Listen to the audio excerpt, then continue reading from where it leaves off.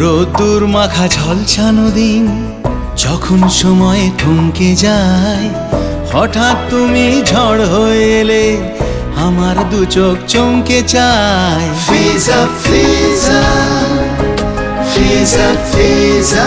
হোক যত হোক তাপ উত্তাপ জীবনের রঙে স্বপ্নের ছাপ। তুমি ভরসা মেঘে বর্ষা তৃষ্ণা এলে ফিজা। ফিজা ফিজা ফিজা ফিজা। তুমি হও ঘাস ফড়িংয়ের সাগর সাগর অপার। জীবন একটা ঘাস ফড়িং ফড়িংটা যার যার। ভাসালো তার ডানা। ঘাসের মাঝে রয়েছে রত্তর কিছুটা আনমনা। ভাসালো তার ডানা। রোদ্দুর হয়েছে কি কেউ কার? তুমি হও ছেঁড়া বোতাম আমার জামার বাধা চাবি শাড়ির পাড়। ছেঁড়া বোতাম জামার। তুমি হও পুরনো সেফটি পিন গল্পের সংসার। তুমি হও ঘাস ফড়িংয়ের সাগর সাগর আপার। এই ফড়িংয়ের ডানায় বাঁধা আমাদের সংসার। এই ফড়িংয়ের ডানায় বাঁধা আমাদের সংসার। ওদেরকে ওদের শর্তগুলো জানিয়ে দাও। সাগর এ বাড়িতে থাকতে হলে ওদেরকে আজকে আরাম করতে দাও না। যখনই কোনো ভালো কাজ করতে যাবে তখন বিপদ আসবেই বাধা আসবেই।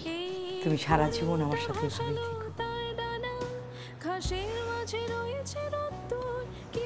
আয়শা নাও। নাস্তাটা করে নাও। এগুলো কোনো নাস্তা হলো? জঘন্য। ছেঁড়া বোতাম আমার জামার বাধা নিয়ে যান এগুলো এখান থেকে। তুমি আর আমি মিলে কালকে আয়সার সাথে খোলামেলা কথা বলব। আমার বিশ্বাস ও চেষ্টা করলে সুস্থ হবে।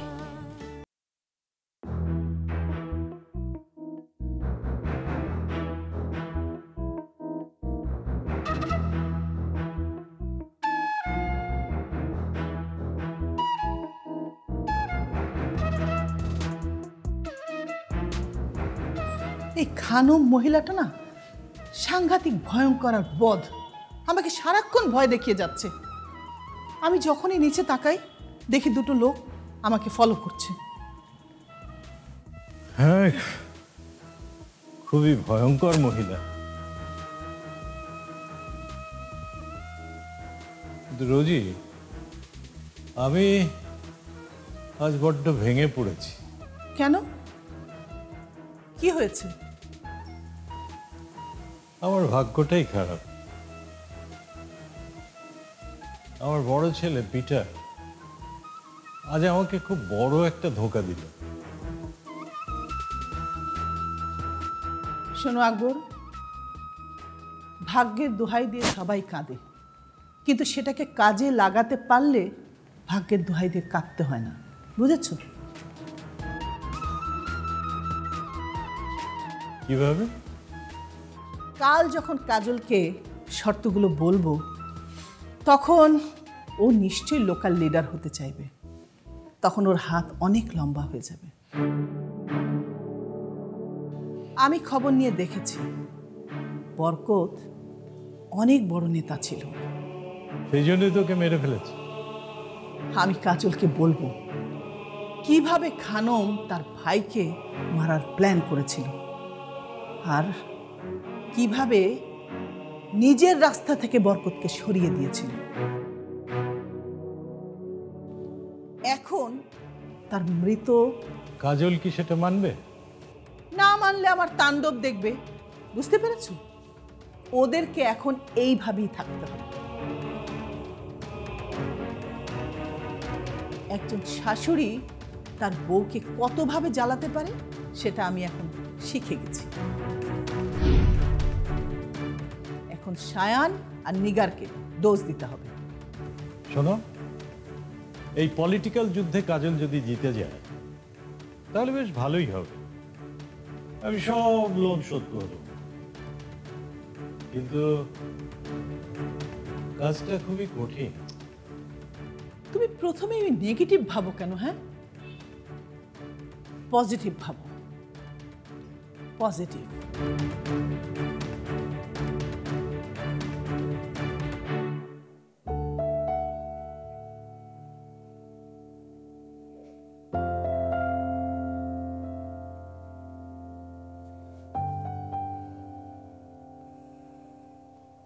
এই সব কিছুই মায়ের পাগলামি।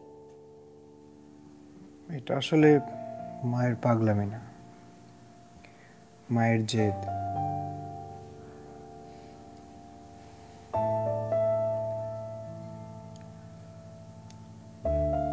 মা যখন ভাবেন যে কোনো কিছু করবেন, তাহলে সেটা উনি করেই ছাড়েন।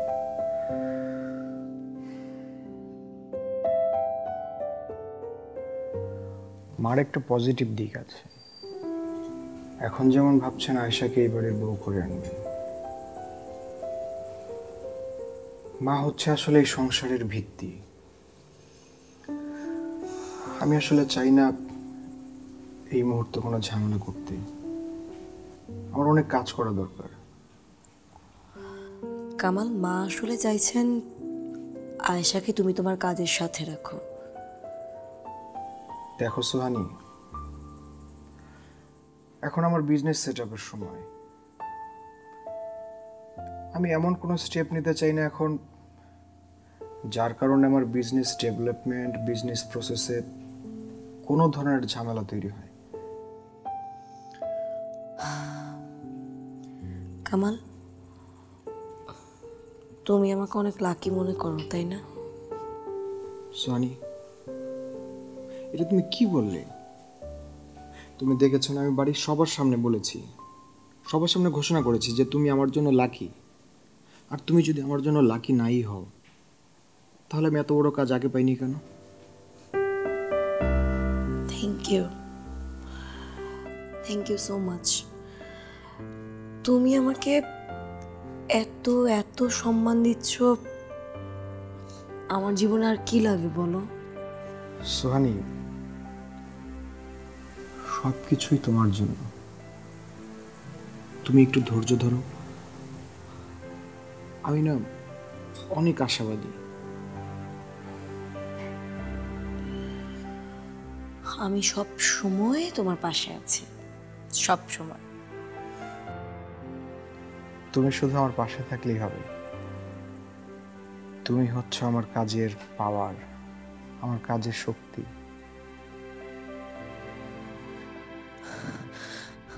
আল্লাহ ও যদি জানতে পারে আমি একজন খুনি এইটা আমি কেন করলাম? না। না সোহানি যে কোনো মূল্যেই হোক তোমাকে এই খুনকে লুকিয়ে রাখতেই হবে। এই যে দেখো তুমি আবার কোথায় হারিয়ে গেলে? না, আমি কোথাও হারিয়ে যাইনি তো।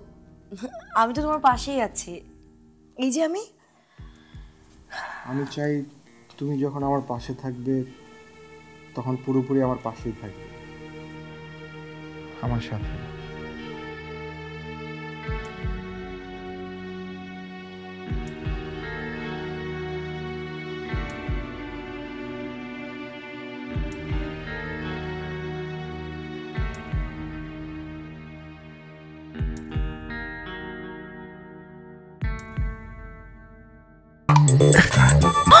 এই সময়? চকোবাইট।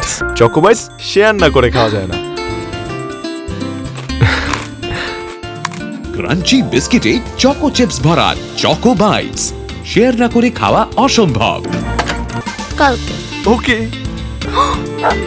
কাল দেখা হচ্ছে কিন্তু।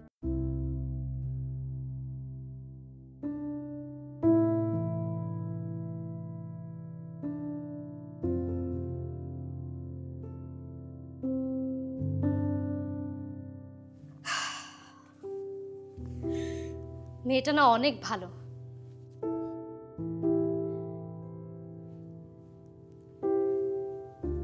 আমাদের জীবন অনেক সৌভাগ্যবান যে আয়সার মতো এরকম একটা বউ পাচ্ছে।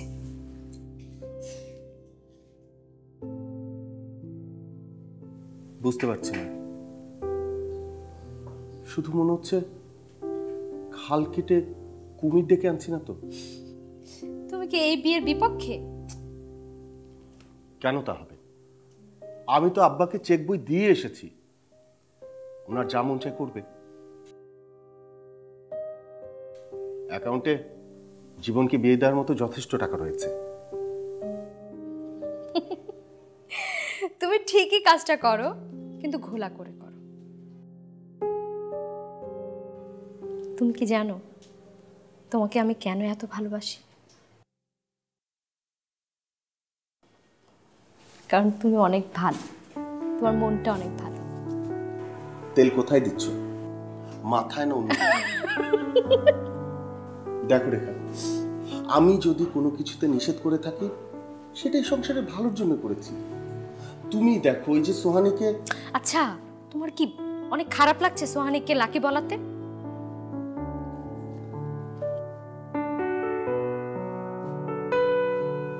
রেখা তুমি ভালো করেই জানো। আম্মার পর এই সংসার তুমি সামলেছ। কত দুঃখ কষ্ট সহ্য করেছে আমরা। আর আব্বা আম্মা সেগুলো সবই জানে। কামালার জীবনও সেটা রিয়েলাইজ করে। আর তোমাকে অনেক সম্মান করে ওরা। আচ্ছা কখন আমি বললাম যে ওরা আমাকে সম্মান করে না? রাজ, আমি তোমাকে একটা কথা বলি। আমার সন্তানের মৃত্যুর শোক ভুলে গিয়ে আমি এই পরিবারকে দেখাশোনা করছি। আমি ভেবেছিলাম আমি খুব ভেঙে পড়ব। কিন্তু জানো, বাবা মা কখনো আমাকে ভাঙতে দেননি। আর রইল বাকি জীবন আর কামাল। ওরা তো আমাদের সন্তানের মতো। কানে ধরে চল লাগিয়ে দিলেই মুখ বন্ধ। আর আয়সা আর সোহানি আমার ছোট বোন ওদেরকে তো আমি নাচাবো। আর আমার যখন একটা সন্তান হবে তখন সেই সন্তানটা ওদেরকে দিয়ে দিব। ওরা ভাই মানুষ করবে। আমি কিছু জানি না আমি পুরো সংসারটাকে সামলাবো।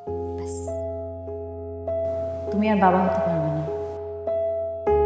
রেখা বাবির জীবন বাঁচাতে ডাক্তার তার জ্বরেও ফেলে দিয়েছে। রেখা। আমার অনেক ঘুম পাচ্ছে। আমি তোমার কোলে মাথা রেখে একটু ঘুমতে চাই। ভেবেছিলাম।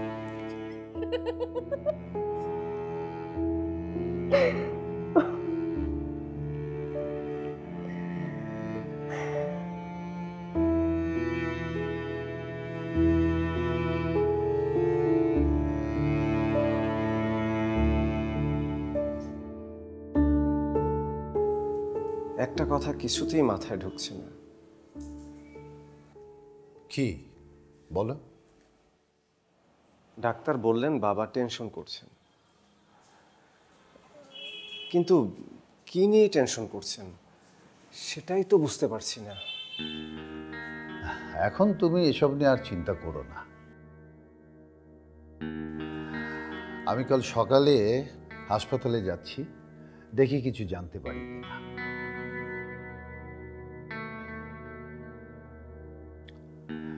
তোমার বাবা অবশ্য অনেক জেদি।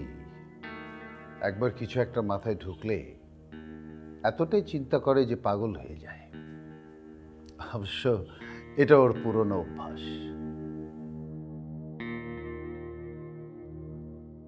আঙ্কেল,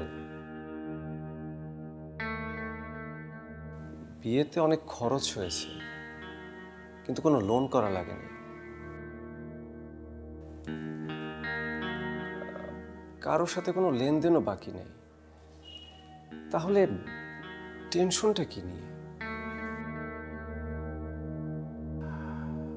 আমার কিন্তু সোহানের শ্বশুরবাড়ির লোকজনকে ভালোই লেগেছে। আজকাল মানুষ চেনা তো বড়ই কঠিন।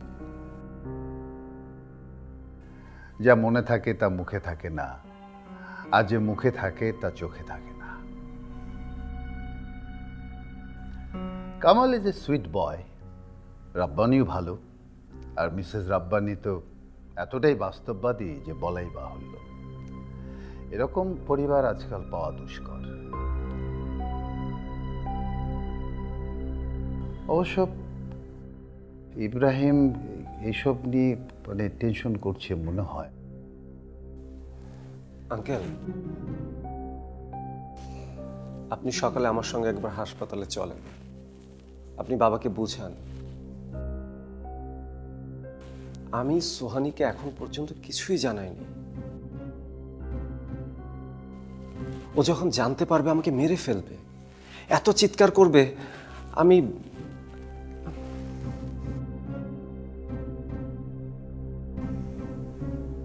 ইয়ে ফিরোজ, অনেক রাত হয়েছে। যাও, ঘুমিয়ে পড়ো। আর আপনি? আমিও ঘুমাবো। ঠিক আছে আঙ্কেল।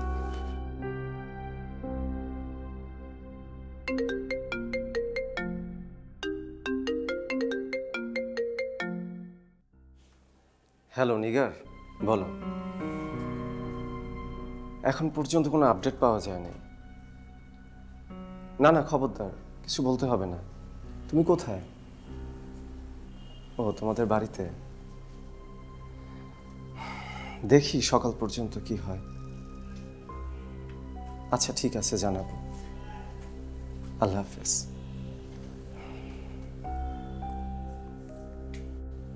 ফিরোজ?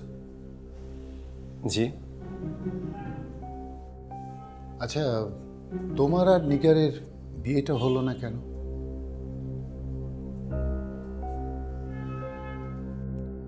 আঙ্কেল, জোড়া তো আল্লাহ ঠিক করে রাখেন তাই না? Good night.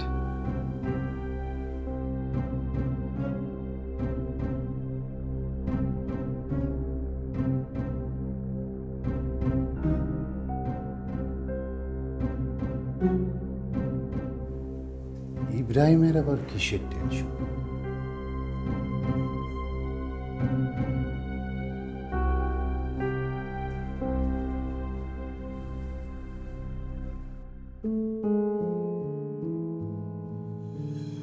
আচ্ছা কাজল আর পিটার ভাই কি করছে? চব্বিশ মে রাতে আমরা কি করছিলাম? কি করছিলাম আমরা? হানিমুনে ছিলাম। তাহলে ওনারাও হানিমুন করছেন বুদ্ধি থাকলে সেটাকে কাজে লাগাতে হয়। তোমার মতো নেগেটিভ চিন্তা করতে হয় না। কাজল আর পিটার ভাই কি করছে? প্রশ্ন এমন হওয়া উচিত নাচ ভাবে কি করছে। এটাকেই বলে সময়। আর দেখো, সময় কত পরিবর্তনশীল। কখন পরিবর্তন হবে, কেউই বলতে পারে আজকে নাচ ভাবির অবস্থান এখানে কোথায়? ওনাকে যে কোনো সময় এই বাড়ি ছেড়ে ওনার জিনিসপত্র নিয়ে চলে যেতে হতে পারে।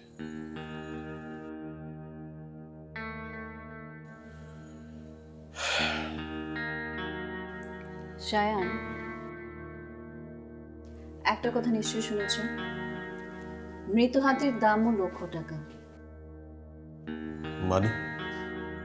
অংশীদারিত্ব বুঝো? ও ইয়েস এখন যদি নাচ ভাবি তার অংশের দাবি করে?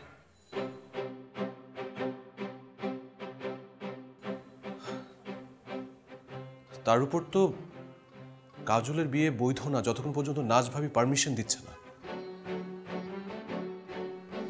এই বিয়ের কারণে কোনো সন্তান এক টুকরো সম্পত্তি পাবে না। আর তাছাড়া কাজল তো কোনোদিন মাও হতে পারবে না। তার মানে পিটার ভাইয়াকে বাচ্চার জন্য নাচ ভাবির কাছে যেতেই হবে?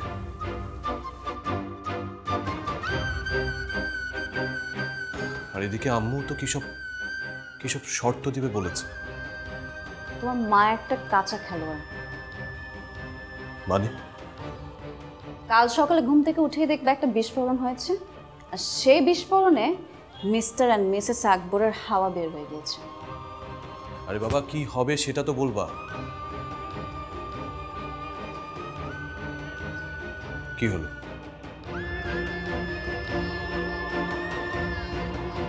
হাসছো কেন? আমি না দেখেছি। তুমি যখনই ফিরোজের সাথে দেখা করে আসো, তুমি শুধু হাসো। একদিন তোমার চিন্তা ভাবনা বদলাবে।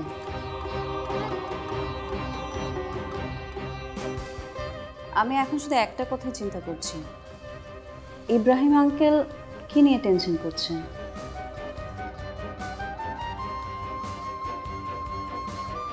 কাল যখন বাড়িতে যাব, সোহানা ভাবিকে জিজ্ঞেস করব যে ওনার চিন্তার কারণ আসলে কি?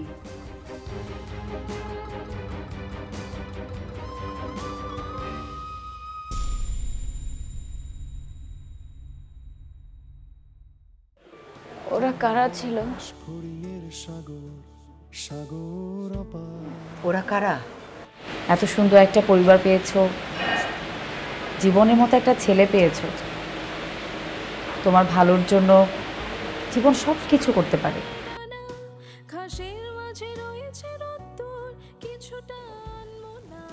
ভেবে তো তুমি আগেই রেখেছো যে তুমি নির্বাচনে প্রতিদ্বন্দ্বিতা করবে। আর সেটা জিতেও যাবে। আমি আজকেই নমিনেশন পেপার জমা দিতে যাচ্ছি। বুঝতে পেরেছ আরে বাহ! তুমি তো দেখছি ছুপা রুস্তম তবে এই প্ল্যান থেকে আমাকে কিন্তু বাদ দেয়া যাবে না।